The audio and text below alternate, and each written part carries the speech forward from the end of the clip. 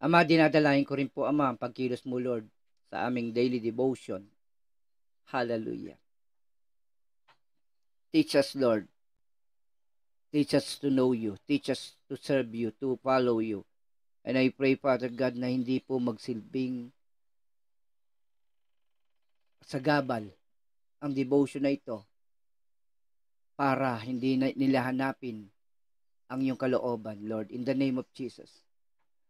Father God, I pray for each and every one of us, Lord, to encounter you, Lord, as you speak to us personally. May your words ay magrema sa bawat isa, Panginoon. In the mighty name of Jesus, only through this, Lord, sa pamagitan nito, Panginoon, mararanasan namin, Panginoon, ang katuparan ng mga ng mga pangako mo, Diyos. Salamat po ng marami at sa araw na ito, Panginoon, ikaw lamang ang aming pararangalan. Ikaw lamang ang aming itataas. Ikaw lamang ang aming pagkakatiwalaan. Sa pangalan ng Panginoong Heso Kristo. Amen. Purihin ng uh, Panginoon sa katotohanan ng kanyang salita. Palakpakan natin ang ating Diyos. Alam niyo mga kapatid, sabi nga the main reason why we have this daily devotion sa, para magkaroon tayo ng daily supply of God's Word. A daily reminder of God's will, of God's commandment, of God's statute, of God's precept, rules, no, testimonies, and everything. Mga kapatid, sabi nga natin, that is one way to hear from the Lord. Another way ay yung punto na tayo mismo hanapin natin siya. It is not enough to listen to this meditation, to this daily devotion. You need to find the Lord personally. Ikaw rin mismo. You need to ask God to talk to you, to speak to you, to move to you. Look, yun ang uh, dapat nating i-desire. Kaya sa umagang ito, sabi nga, this is our desire yung makilala at malaman ang kanyang kalooban at ang kanyang mga salita. Hallelujah. We thank you for trusting our ministry to pray for your family. In behalf of you, at sabi nga, sabi nga mga kapatid, hindi naman tayo binibigo ni Lord as God answered our prayers. But one thing to be sure is this. Higit sa answered prayer, know God. Have a personal relationship to Him. Kaya sa osa to, ilagay mo sa comment section. Kilalanin mo ang Diyos. Personal. Kilalanin mo ang Diyos. Personal. Hallelujah. Ang gawain ng JOP is not an organization, but the church who listen, who hear, and obey God's word. We are just the body of Christ that will fulfill, complete His work dito sa mundong ito. God is the head of this church. Hindi tao, kundi Diyos ang nangunguna sa atin. Hallelujah.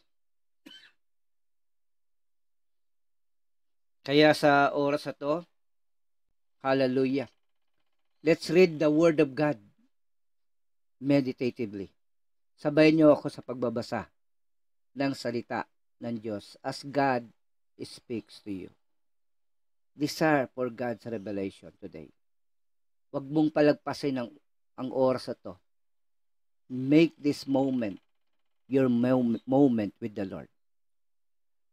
Ituro mo, Panginoon, layunin ng kautusan at yun ang susundin ko habang ako'y nabubuhay. Ituro mo ang batas mo, sisikapin ko masunod. Buong puso iingat at susundin ng buong lugod. Sa pagsunod sa utos mo, ako'y iyong pangunahan. Sa utos mo ay naroroon ang ligayang inaasam. Bayaan mong hangarin ko na sundin ang iyong utos higit pa sa paghahangad na yumaman akong lubos. Ilayo mo ang pansin ko sa bagay na walang saysay at ayon sa pangako mo'y pagpalain akong tunay. Tuparin mo ang pangakong ginawa sa iyong lingkod. Ang pangako sa lahat ng sayo ay natatakot. Iligtas mo ang lingkod mo sa sinumang mapang-uyam. Sa mabuting tuntunin mo, humahanga akong tunay. Ang lahat ng tuntunin mo, ang hangad ko'y aking sundin. Pagkat ikaw ay matuwid, kaya ako'y pagpapalain. Purihin ang Panginoon sa kanyang salita. So ngayon tayo po ay nasa ikalimang bahagi. Okay? So ito tinatawag nating He. So yung Hebrew alphabet, nasabi nga natin, will remind us na the summary, help me to follow you, Lord. Alam niyo mga kapatid, hallelujah sa oras na ito, let us put pay attention. Sa kabila na ang Panginoon ay hindi nagbabago, still ang tao, andun pa rin yung pagkukulang. Sa mundong ito, we live in a day where the Word of God is becoming more and more devalued. Okay? Parang yung kaalaman, mas mabuti pang makinig sa mga counselors, sa mga contemporary radio station, sa mga DJs, sa mga experiences ng mga vloggers as if they gain wisdom from their experiences. Nakakalungkot na ngayon maging yung mga bata ay na-encourage ng sanlibutan ito na mag-vlog as if they want to teach the world of the things na hindi niya alam. Kaya minsan, ang mga bata ngayon, feeling nila, alam na nila ang lahat ng bagay na unawaan na nila. Kaya ngayon maraming tinuturo, maraming maraming taliwas sa katotohanan na mga bagay ngayon ang na nakik, nakukuha ng tao. And yet they do not question the validity, the reliability, and the truthfulness of this, this knowledge experience. Salip, ang iniiwan natin, the only thing na hindi natin binibig na tinatanggalan natin ng bahagi sa buhay natin, no? Ay yung kanyang salita. This world devalued the words of God. Huwag tayong, huwag tayong, o tulitin ko, huwag tayong umayon sa takbo ng sanlibutan ito. Sabi nga ng uh, Romans chapter 12, Be ye transformed, do not conform to this world. Hallelujah. Kapatid, daily, let's follow the good example of Ezra Now Ezra had dedicated himself to the study of the law of the Lord, to its observance, and to teaching its statutes and judgment in Israel. Kapatid, itong Ezra 7.10 is not only for the teachers, for the pastors, for those people who are called to share, to teach, to preach the word. Kapatid, as we study Psalms 119, without the personal encounter to the word that we will not be able to uh, to see our God. Hindi mo mararanasan ang katotohanan sa Panginoon unless we take time. No, sacrifice time to know God through his word. To apply it and to share it to others. Hallelujah. Kapatid, ayaw namin kayong turuang ta- maging tamad. Sa education, we call this, minsan tinatawag namin spoon feeding, wherein wag na kayo maghirap, wag na kayo magpuyat sa pagbabasa ng Bible, tuturuan naman kayo ni Pastor kinabukasan, araw-araw, o kaya sa ating mga fellowship schedule, sa ating prayer meetings and Sunday service, meron naman magbibigay ng message. They are enough. Brothers and sisters, kapatid, kung yun ang nagiging dahilan kaya hindi natin nakikilala ang Panginoon instead of being a blessing. Nagiging tolerant pa tayo sa tinatawag nating katamaran ng mundong ito. So brothers and sisters, unless you personally learn from the Word as you read the Bible, as you meditate it day and night, hindi po kami, hindi namin kayang ibigay lahat ng nilalaman ng salita ng Diyos. I believe that the Word today has a special personal touch to you as if God is speaking to you. You need only to take time to sit down, to listen, to meditate it. Naniniwala ako dito, the message today is not for some of you, but, but for every Christian na tunay nga panahon na na lumalim ang kanilang relasyon sa ating Diyos. Kaya sabi nga ng banal na kasalatan, sabi nga in the last days, isa sa magiging senyales ay yung panlalamig. Why? Sapagkat yung tao ay naging makasarili gusto na nilang marinig yung gusto lang nilang marinig. At yung ayaw, ayaw nila. Kaya minsan, sa totoo lang, if you are still finding for a church that will give all the things you needed, that will answer for all your spiritual desires, nako po, hindi ganyan ang tinawag ni Lord na iglesia. Hindi ganyan ang tinawag na body of Christ.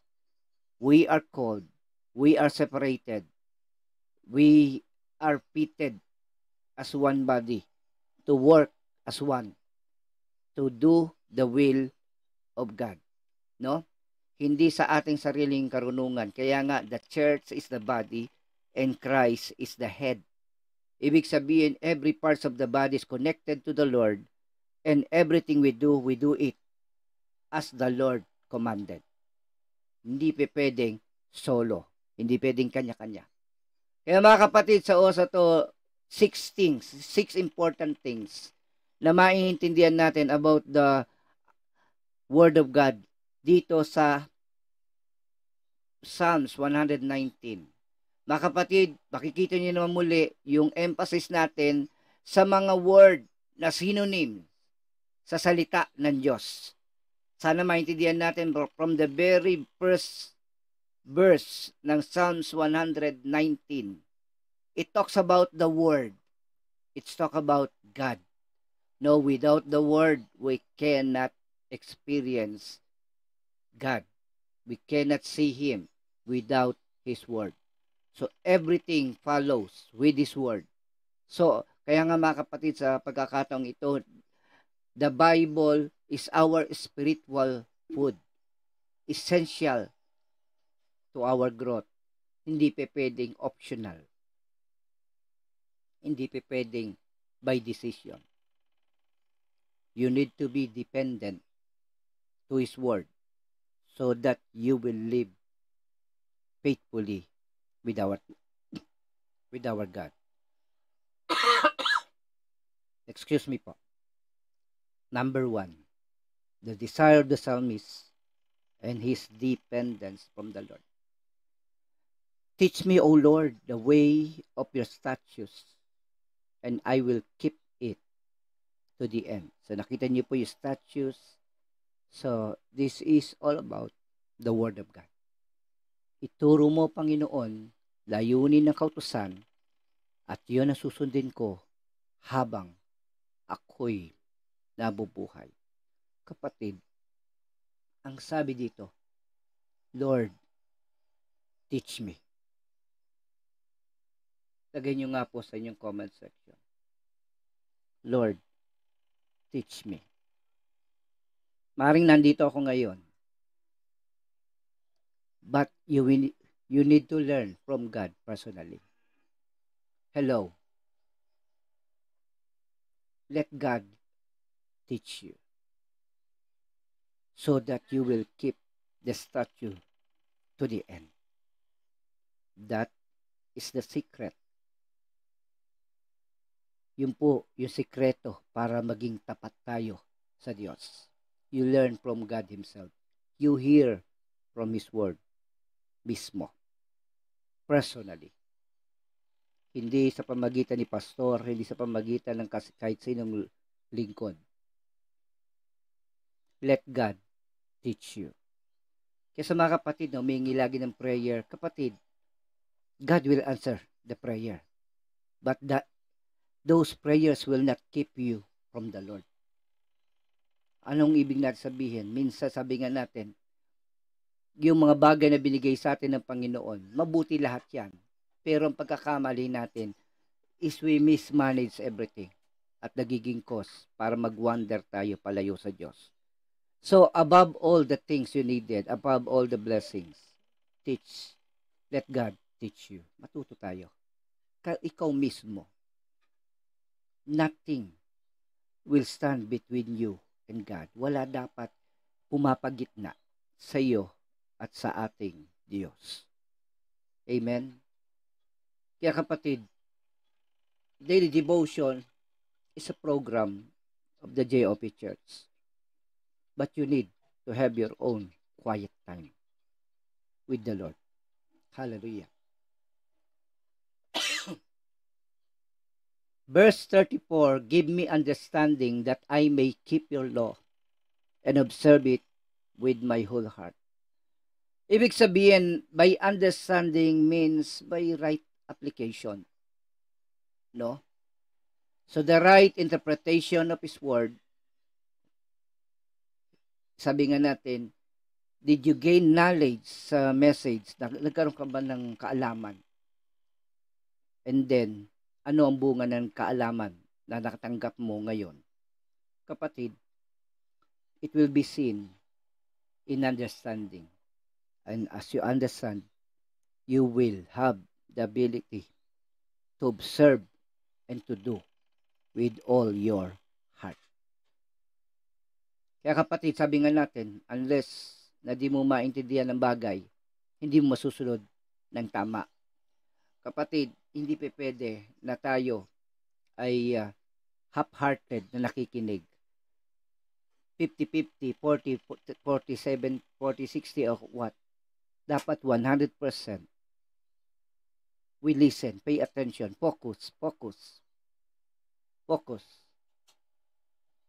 Sabi nga natin, do not miss a word. Do not miss instruction. Sapagkat sabi nga natin, if you miss it, walang aksidente.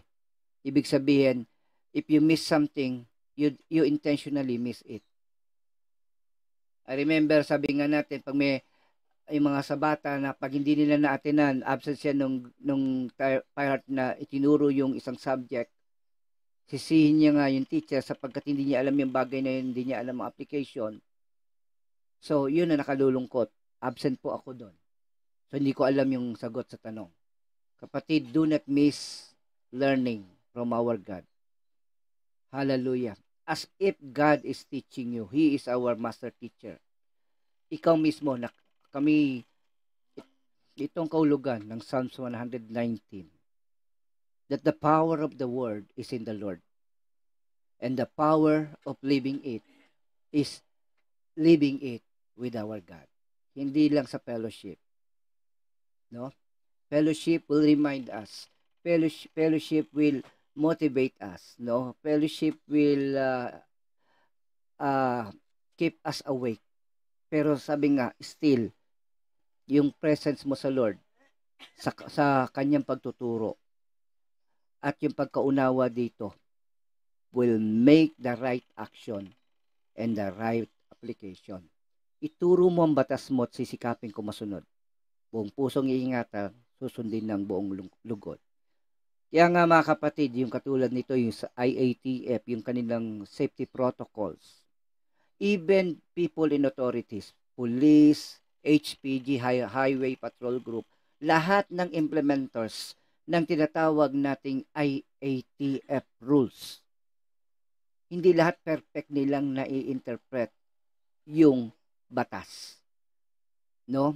Merong kamalian, mapapanood natin, ewan ko ba, napakasipag talaga ng mga reporters na ipangalandakan sa buong mundo ang mga pagkakamali ng iilang enforcers, police, HPG people. No? yun na ilalabas sila nagkakamali ang mga authorities sa implementation na mga rules on safety protocols ng IATF. Yan ang nakalulungkot. Pero sabi nga natin, hindi pe pwede nga naman na merong misinterpretation, misunderstanding of the rule. Gravely dangerous po yan. Especially with the word. Especially with the truth of God. Hindi natin pwedeng laruin ang salita ng Diyos. Hallelujah. Sabi nga ng verse 35, Lead me in the path of your commandments, for I delight in it. By learning from His commandments, it will produce the joy. Sapagkat unang-una, wala nga salita ng Diyos na magpapahamak sa iyo. Maybe the misinterpretation or wrong interpretation. Or maybe hindi mo binigay yung time to listen, to understand them. Kapatid, kapag hindi mo naunawaan, stay with the Lord. Huwag mong hayaan na yung moment mo with Him ay uh, mabitin. Hallelujah. God is more than willing to do His part. It's up to you to submit. Sa, pag, sa pagsunod sa utos mo, ako'y iyong pangunahan. Sa utos mo'y naroroon ang ligayang inaasam. Hallelujah. Praise God. Praise the Lord for these words.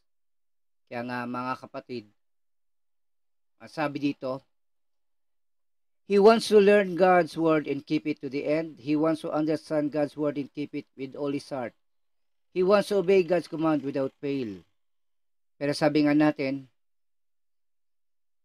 wala tayong matututunan maliban na turuan tayo ng Diyos. Hindi natin maunawaan maliban ipahayag sa atin ng Diyos. Hindi natin magagawa maliban ang Diyos ang kumilos sa atin. Every effort na ibinibigay natin sa pag-aaral ng salita ng Diyos, everything is from the Lord. The provision, the ability to understand, and the ability to obey. Wala sa sa ating sarili. Lakas. Kundi tanging sa Diyos. Gusto mong maunawaan? Lumapit ka sa Diyos. Katulad din ng mga panalangin mo. Gusto mo ng panalangin ito. Gusto mo sagutin ka ng Panginoon. Lumapit ka sa Diyos so that through Him, you will understand His will. Kaya sabi nga natin, gusto mong pagsundin ito, maunawaan ito, kapatid, tanggapin mo sa katotohanan na kung hindi loloobin ng Diyos, wala ka matatanggap, hindi ka maliliwanagan, at hindi ka lalaya.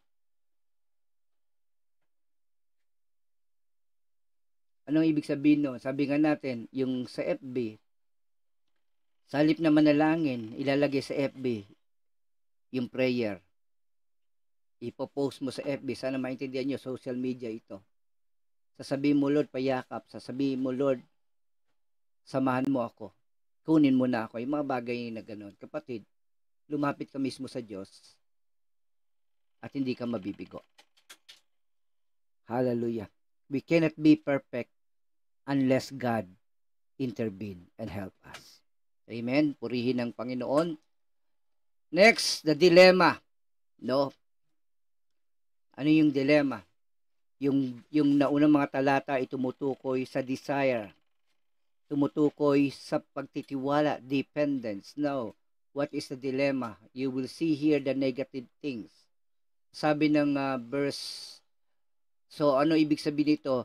Katulad nga na sinabi natin kahapon, why is it that we are struggling? in doing God's will. Kung ano yung bagay na gusto natin gawin, yung pinaplano natin hindi nagaganap, pero yung bagay na ayaw natin, yun ang napakadaling gawin. No? Kung ano yung ayaw mong gawin, yun ang nagagawa mo. But take note, sabi nga ni, ni Pablo, kasi hindi na tayo yon. It is the sin that lives in us.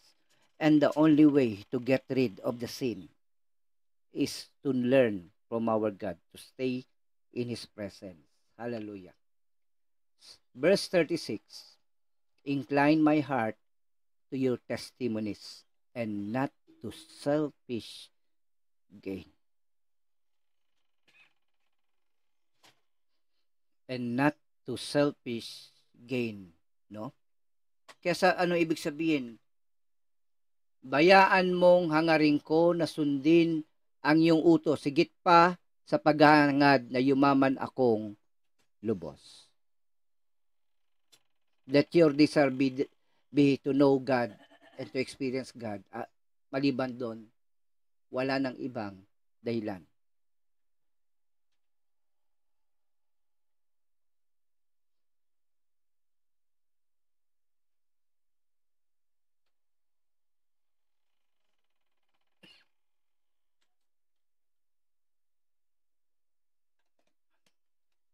Hallelujah. Bayaan mong hangarin ko na sundin ang iyong utos, sigit pa sa paghangad na yumaman akong lubos. Sabi ko nga, nothing must stand between you and God. Walang dapat hadlang. Even the riches of this world. Even the worldly wealth. Kapatid, nothing can replace God in our lives. Sabi nga doon, more than anything, more than gold itself, more than worldly wealth. Desire God. I-desire niyo ang Panginoon. Sapagkat sabi nga natin, only God can fill in the hollow, yung, yung kakulangan. Siya lang ang makapupuno. Turn my eyes from looking at worthless things and give me life in your ways. Yung tinatawag nating worthless, mga bagay na walang halaga, mga bagay, minsan nakakalungkot isipin that people spend money, spend time, no? Spend moments with the worthless things. At the end, nothing happens. Walang growth, walang maturity. And give me life in your ways. Ilayo mo ang pansin ko sa bagay na walang saysay. At at ayon sa pangako mo'y pagpalain akong tunay. Hallelujah. Ano ibig sabihin? Today, focus on the Lord. Focus, focus on His Word. Focus on His will. Ulitin ko, hindi mo gagawin yan by leaving your job, by resigning. Hindi mo gagawin yan. Supposed to be, doon lang, doon pa sa work, doon mismo sa yung workplace you can show what you are learning from our God. With the right application, you will be a blessing not only for your family but also for your co-workers. So sabi nga natin, everything na ginagawa natin sa mundo, there is a connectivity, connectivity with the word, with the teaching, with the law, with the promises of God. Number, sabi nga natin, ito yung mga bagay na dilema ng psalmist. Yung tinatawag nating selfish gain at yung tinatawag na worthless things. Now, the discernment. Okay, ano yung discernment, no? Tanda sana natin mga kapatid as we learn from the word, it produce reverence, the fear of God. Ibig sabihin, when we pay attention to the Word. When we learn from God, nagkakaroon tayo ng deeper understanding of our relationship to the Lord. Habang lumalalim, lalo kang nagiging sensitive. Anong ibig sabihin ng sensitivity? Sensitivity that as the days goes by, as you as you grow deeper in your relationship relationship to the Lord, nag-grow din yung love mo at sa pagmamahal na yon, hindi mo gagawin ang anong bagay na di kalooban ng Diyos. Kaya sabi nga natin mga kapatid, the discernment, confirm to your servant your promise that you may be feared. The promise. Tuparin mo ang pangakong ginawa sa iyong lingkod, ang pangako sa lahat ng sa iyo ay natatakot. Understand this, that everything we have, lahat From the day one hanggang sa present, they came from the Lord. even your ability to work, even the money na na-produce out of your work, they came from our God. Wala tayong hawak. Kapatid, never be, never forget this. We came na walang damit, walang property, walang suot. And then, the truth, at the end, we will leave this world without anything. But I tell you, those who learn from the Lord will have everything in the presence of God. Kaya kapatid, hallelujah. Psalms 119.39 Turn away the reproach that I dread, for your rules are good. Hallelujah. Sana po hindi natin i-base ang ating pagsunod sa public opinion. So, so what is accepted to many, yun yung magandang gawin. No, amen. Most of the time, biblical truth are not accepted by many. Bakit? Dahil unang-una, ang tao ay self-centered, selfish ang tao ay mat- stubborn, matigas ang ulo. Kaya kapatid, sabi nga natin, they they see the the life of faith as a religion that limits our potential, that limits our options. No, bina ibang pina uh, maraming bawal, maraming di dapat gawin. No, amen. We can do everything but not everything is good. Pwede mong gawin ang gusto mo, pero hindi lahat malaga. So, ibig sabihin, sa mundong ito, maraming bagay ang pinagnanasaan ng sanlibutan ito, pero pagdating sa dulo, empty. So kapatid, choose either to obey God or to yield without without relying to public approval. Ha? Para lamang, kaya minsan may mga church, sabi nga, okay lang, okay lang uminom kasama ng mga nagiinuman. Okay lang yung mga bagay na yon Kapatid, wala naman tayong rule against that.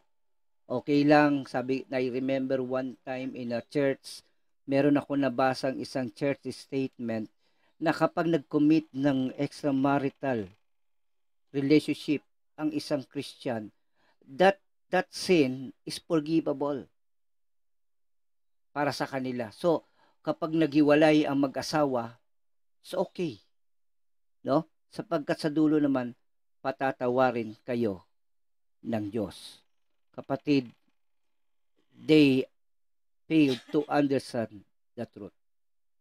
They failed to see the truth sa mga bagay na yon. So, ano nangyayari? Kaya nga, hindi tayo, sabi nga, in America, hindi, hindi ka na openly pwede mag-share ng Word of God against immorality. Against yung tinatawag nating sin of sodomy. Yung relationship between same-sex, sexual relationship. O yung immorality ng ex, ng adultery, and so on and so forth ng covetousness, ng uh, pag, paghahangad. Lahat ng yun. Pag yun ginawa mo, i-post mo yan sa pati nga ang pagsamba sa Diyos-Diyosan, pag nag-post ka, start, be ready sa mga bashers. Be ready. No? At tat- tatahimik lang sila kapag nakiayong ka sa gusto nila. Hallelujah. Iligtas mo ang lingkod mo sa sino mang mapang-uyam. Sa mabuting tuntunin mo, humahanga akong tunay. Hindi natin kailangan ang favor, ang pagtanggap na nakararami. Sa katotohanan na ang salita mismo ng Diyos ay mabuti para sa ating buhay.